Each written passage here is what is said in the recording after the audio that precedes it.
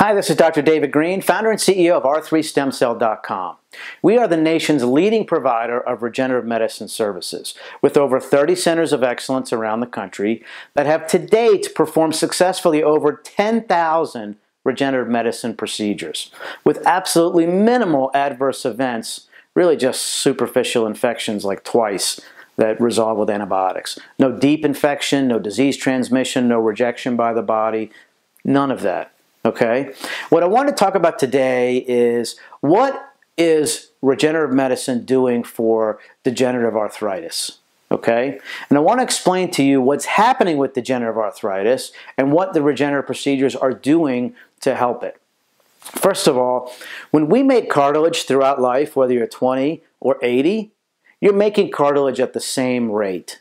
Okay? Let's just say it's like this. Now, normally at the age of say 10, 20, 30, you're losing cartilage at the same rate too. Okay? That's a one-to-one ratio. But what happens as we age? Well, as I mentioned, this stays the same, cartilage formation. It's the loss that goes up. So you have a ratio mismatch, and you start to lose more cartilage than you make. So when you have a regenerative medicine procedure, what we're actually doing is helping to change that ratio okay, so that people can make more cartilage and lose less. And I know this because we have plenty of x-rays pre and post uh, stem cell therapy in the knee that show uh, some increased joint space. Now, there's no heal, there's no healing, no cure for arthritis with these procedures. That's not is that's not what's happening. Okay, but we're changing the ratio, putting it back into your favor. Now, how long it's going to stay in your favor is anybody's guess. The average length of time that our patients achieve significant relief is over two years, two and a half, uh, I believe, at the latest.